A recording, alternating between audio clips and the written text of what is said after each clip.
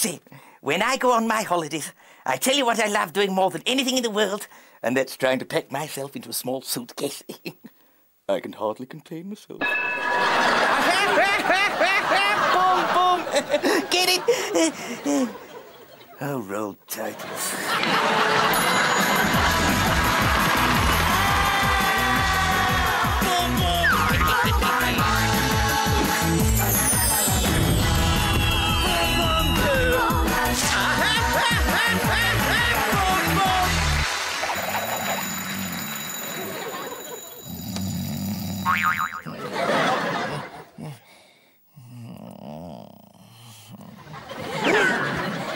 Wait a minute. That can't have been me. I've got paws, not hands. Hi there, friend. Albert Kirk from Albuquerque. Um, would you just excuse me for one teeny weeny second? Missing you already. Yes. Mr. Stephen, wake up! Mr. Stephen, there's something very strange going on. Hello! I'm Marilyn Kirk. And may I just say, I love this old English tradition of sharing rooms. It's so quaint.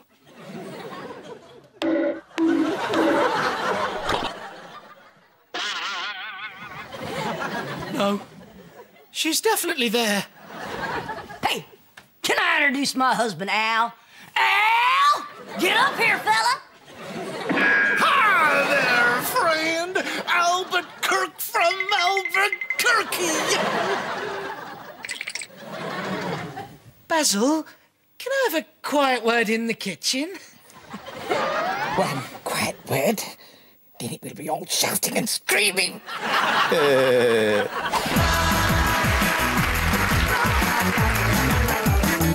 I'm telling you, there's a woman in my room. That doesn't sound very likely. You must have dreamt it. Oh, I know the difference between real life and a dream. Yes, one is a bizarre world inhabited by freaks in which anything can happen.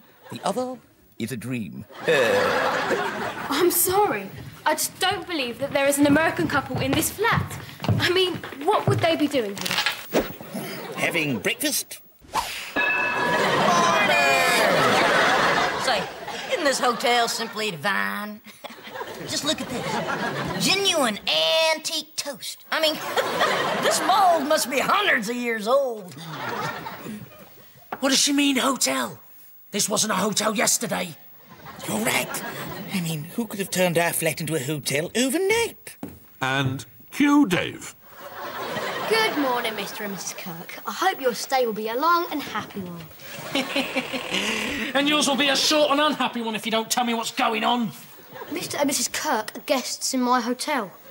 Mr. Kirk's a cosmetic surgeon from America. Just give me a call anytime you need your face narrowed. and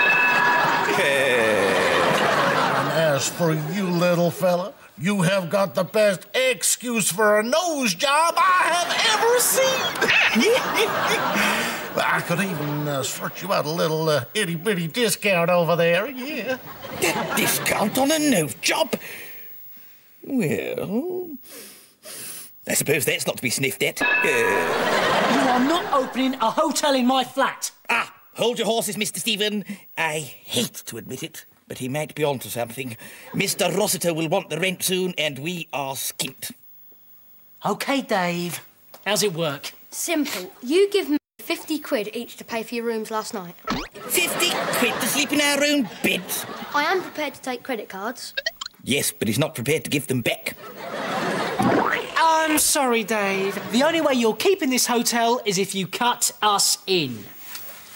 As it happens, I am thinking of branching out, so I will need some help running the place. I've decided to start offering guests local sightseeing tours.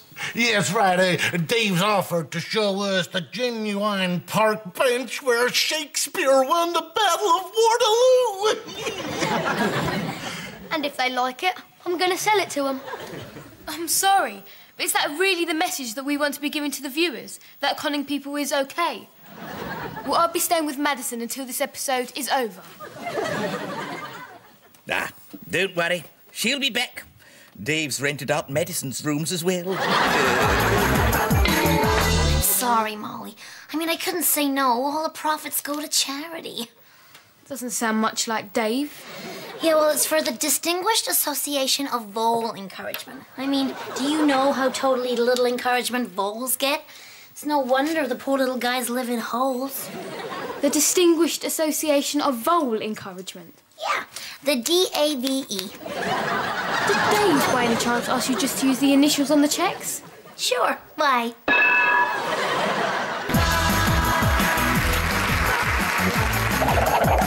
Master Dave, are you sure we can fit six people in the Emperor's suite? Hold on. Which, which one's the Emperor's suite? The toilet. But there's no beds in the toilet, duh. So they'll just have to sleep standing up. Duh. Dave! Uh-oh. I recognise the tone of that voice. Those of you of a nervous disposition should look away. Dave, tell Madison exactly what's happening to the money. And don't dare deny that it's all going to you. This should be good. One can always tell when Master Dave's lying. His lips move. I'm not denying it. The money is for me. But I- need it. I'm desperate. I've only got seven pairs of trainers and my games console. It's over a month out of date. I can't live like this. Please. Please help me. Oh, Dave. You can totally count on me. We need this advert to show all the positive points of the hotel. What we got so far? The Pitz Hotel. Not quite the worst hotel in Britain. What's wrong with that? It's not true. It is the worst hotel in Britain. Yeah. Each room comes complete with its very own spider. This is hopeless. oh, don't give up, Miss Molly. It's just a question of rewording it. And how would you reword spider? Mm, well, each room has access to the web. See, I'd make a great spin doctor. spin web. Get it? oh, and don't forget the gym Where's the gym? in the cupboard. Hello, I'm Jim. Don't forget this place, just across the studio. Lovely local restaurant. Lovely local restaurant. I don't mind lying, but that's criminal. Well, if you dislike it so much, why do you keep coming? It's the only other set we've got. Good point. Right. I've worked out which jobs we should do. Basil, you're the maitre d'. Me I recommend a table by the windowsill? You might want to jump out when you see the food. Madison is in total charge of all our guests' hair, nail, and beauty requirements. Dave, This is the very cafe where Christopher Columbus bought his sandwiches for the trip to America. Yeah, Dave is busy. So. I'll do everything else. Hold on. What am I gonna do?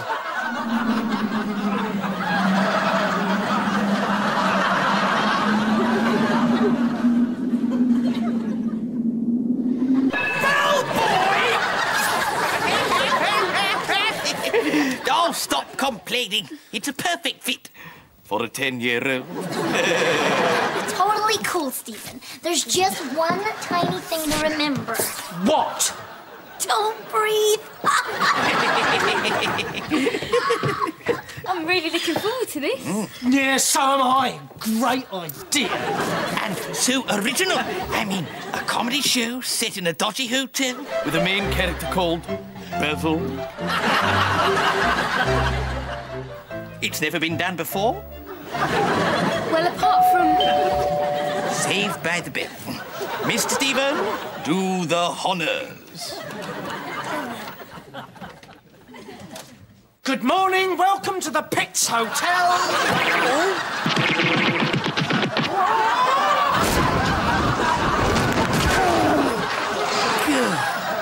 I don't know. We've only been open five seconds and he's already lying down on the job.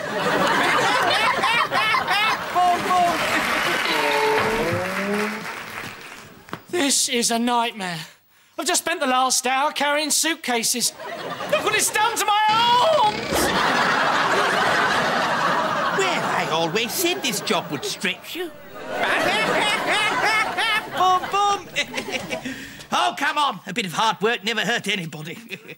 Oh. Table 4 won the continental breakfast with marmalade instead of jam and no dairy products. Table 6 won the decaf coffee with sweetener, not sugar and half cream.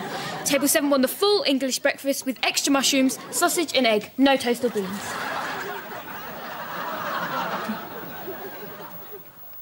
Bean.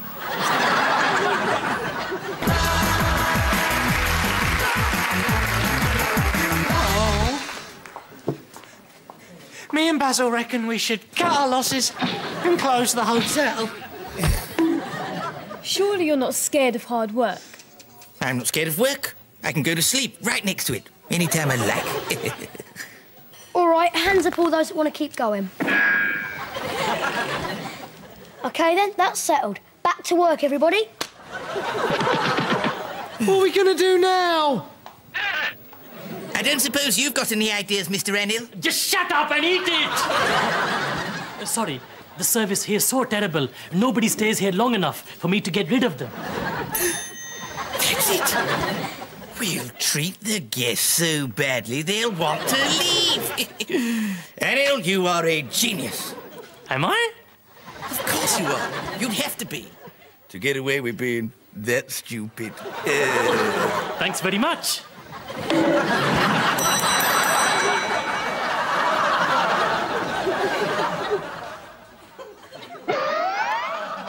Come, Mr. Stephen.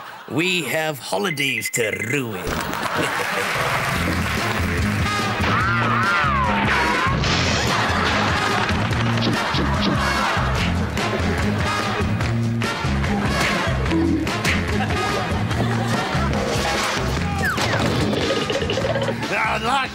like me some cereal. You know where the kitchen is, mush? Room four. Ah, yes, lovely views. It's the garden shed, isn't it? now, you've got table three. It's the dustbin with the tablecloth on.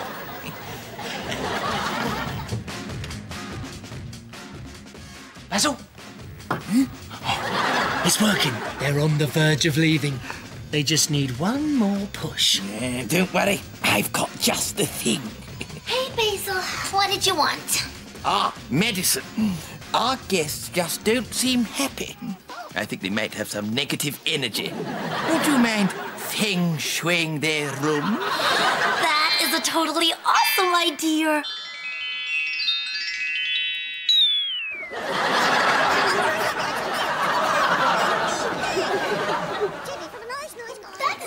Is so gonna cheer them up.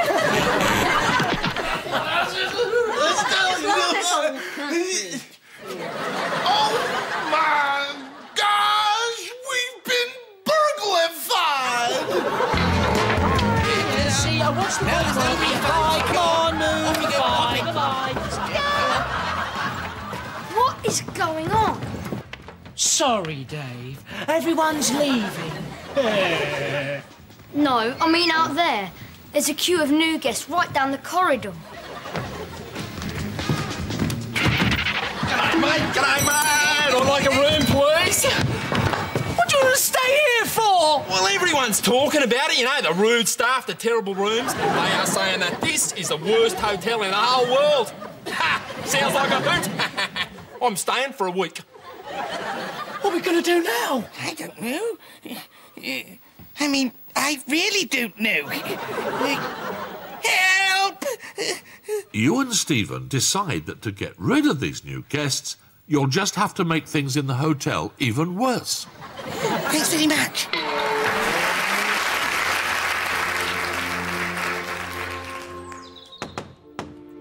Breakfast in bed. Mm.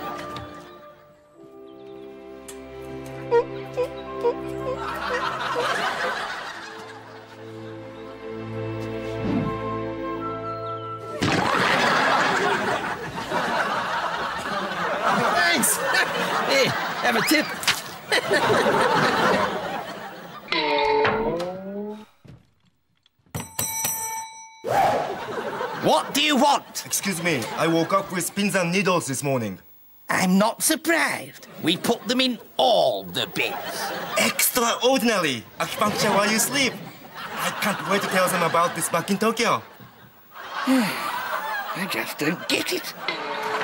The worse we make the hotel, the more they enjoy themselves. I know. I gave one of them a bacon sandwich earlier, and he thanked me.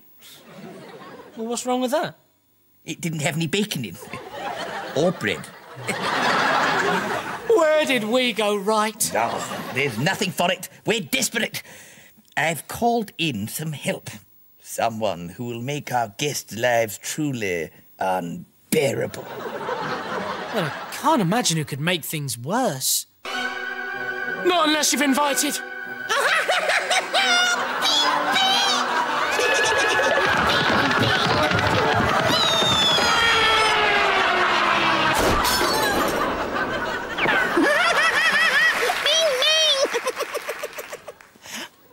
can't believe you actually invited that over. I'm sorry, Uncle Baz. Oh, that's all right, Bingo, me lad. Don't worry about the chaos. That's why you're here. Oh, no, I'm not sorry about that. I'm sorry about this. bing, hmm? bing! Bored now. Basil, why? He's a menace. Exactly. Come on, let's get out of here while we can.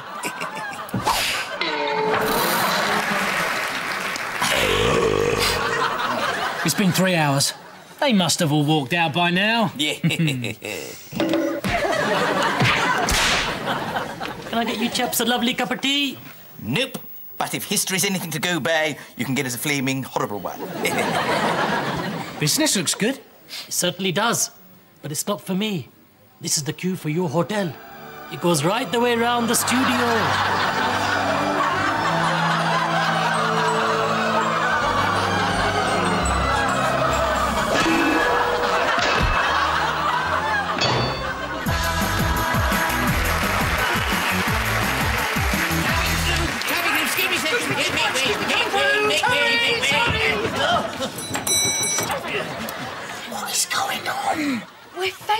It's incredible. People are coming from all over the world to see the worst hotel in the world. We've had to turn wardrobe and makeup into bedrooms.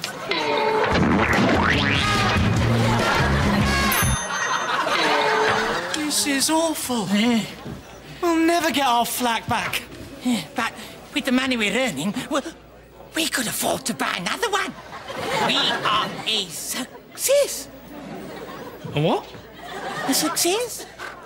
Ugh, this isn't a word he comes across very often. Uh, we, Mr. Stephen, are the toast of the town.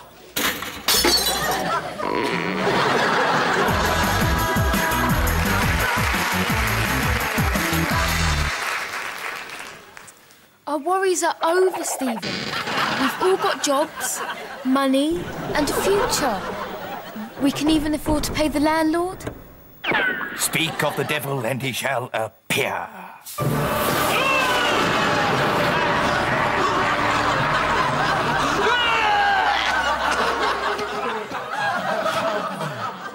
Sorry about the get-up. I'm on my way to a fancy dress party. I just thought I'd call in and collect the rent. And you can have it, my good man. No, no, no, no, there's no good trying that this time. Because I have brought the tenancy agreement with me. And it says here quite clearly that I can have you evicted for not pay... For... Did you say I could have it? Your ears have not let you down. Although, looking at the size of them, they've probably embarrassed him a few times. All right. What's the catch? there isn't one. We have turned the flat into a successful hotel business. Allow me to show you round. Here's our bellboy, preparing the beds by combing a dog with fleas over the sheets. Our guests do like things to be up to scratch. And here we find our resident alternative therapist, Miss Madison. Hi. Preparing for a liposuction session. This sucks fat because fat sucks.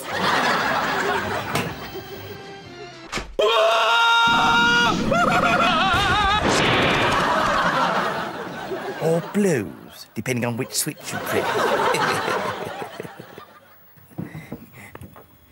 I like get a new patient because this one just burst. finally, here's our receptionist, Miss Molly, tuning the TV so it shows only French programs.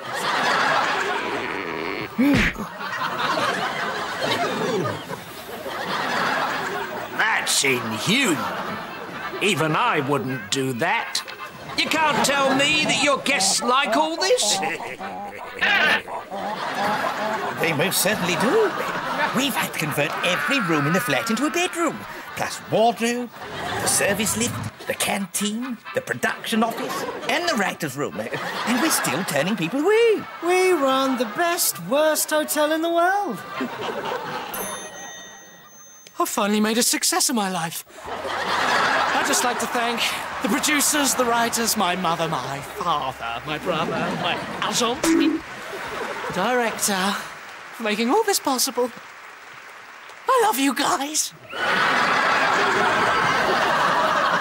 Yes, for once, Mr. Stevens' terrible acting has hit the nail on the head. We are a hit. Your rent will never be a problem again. now, what's the damage? 8,400 quid. How much? A night. It's all in the tenancy agreement, you see. You are allowed four people living here, and I can charge you £100 for every extra person now. I've counted 84 beds, so that's 8,400 quid. Can we pay you next week?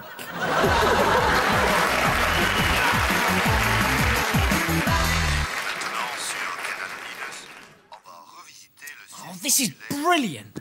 We've had to close the hotel. We're skint. And now we've only got French telly. Well, I don't care. At least things are almost back to normal. All we've got to do now is get rid of the guests. Get off! you guys crack me up. Do you want to throw another shrimp on the barbie? What are we going to do with all them? They're odd, funny looking, and just sit around all day. Hang on. Who am I kidding? They'll fit in fine.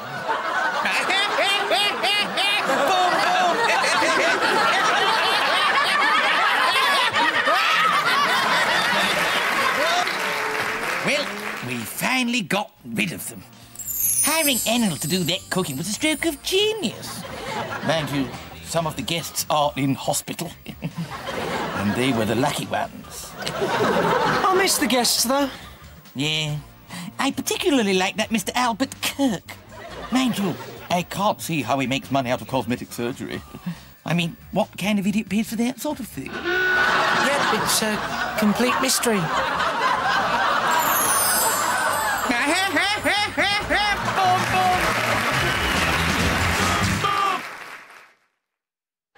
CBBC Gamesters! Welcome to the Championships! It's sheep against sheep action! With close encounters of the woolly kind! There's stacking! There's racing! And there's Shaun teeing off! Are you lamb enough? Go to the CBBC website, click on Shaun and play the Championships!